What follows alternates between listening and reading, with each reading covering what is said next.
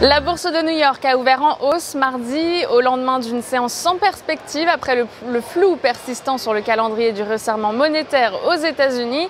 Le dollar de son côté fait face à des mouvements variés. L'euro-dollar est en baisse de 0,46% à 1,1169.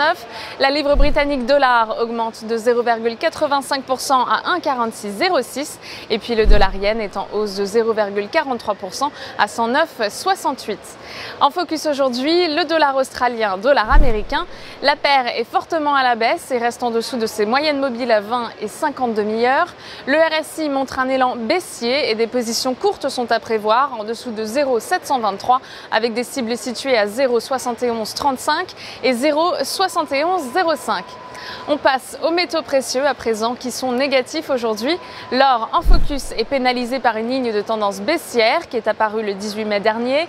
Le RSI est passé en dessous de sa zone de neutralité à 50% et des positions courtes sont à prévoir en dessous de 1252 avec des cibles situées à 1237 et 1231.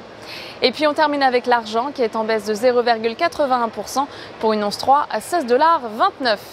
Pour Trading Central depuis la bourse de New York, c'est Stéphanie Texier. Je vous souhaite une très bonne journée.